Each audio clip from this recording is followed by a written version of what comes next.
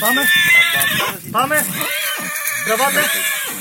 Τρομοκρατημένο το νεαρό άλογο από την πολύ ωρη περιπέτειά του ανασύρεται προσεκτικά από το πηγάδι. Οι διασώστες της ΕΜΑΚ χρησιμοποιούν λιμάντες και σκοινιά για να το προστατεύσουν από περαιτέρω τραυματισμούς.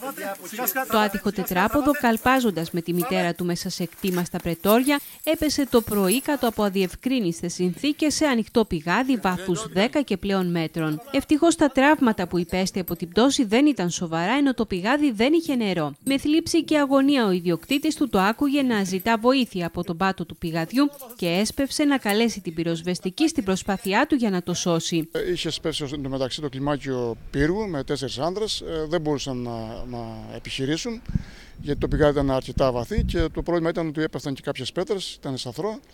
Οπότε ενεργοποιήθηκε η υπηρεσία μας. Φτάσαμε λοιπόν στο σημείο με μια ομάδα ε, ορειβατών οι οποίοι με κατάλληλο εξοπλισμό κατέβηκαν στο πηγάδι έδεσαν το μικρό αλογάκι και με κατάλληλο εξοπλισμό, με χινιά κτλ. το ανεβάσαμε το ανασύρμα πάνω. Στο σημείο βρέθηκε το κλιμάκιο του πύργου και λίγο αργότερα η ΕΜΑΚ.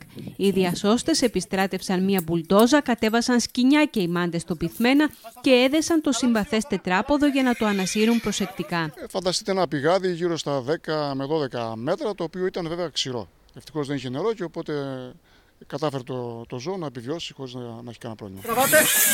Τραβάτε! Τραβάτε. Το ξύλο, παιδιά, από Σιγά σιγά, τραβάτε. Πάμε. Η επιχείρηση κράτησε πάνω από δύο ώρες, όμως συνοδεύτηκε από πλήρη επιτυχία, καθώς το νεαρό άλογο ήταν ελάχιστα τραυματισμένο και επανενώθηκε με τη μητέρα του λίγα λεπτά αργότερα, σκορπίζοντας ανακούφιση στον ιδιοκτήτη και όσους παρακολούθησαν την επιχείρηση της Τρίτης ΕΜΑΚ. Το ευτύχημα ήταν ότι δεν είχε, δεν είχε κάποιο τραυματισμό το αλογάκι, οπότε μόλις ελευθερώθηκε πήγε κατευθείαν στη μαμά του εκεί, στα έτρεξε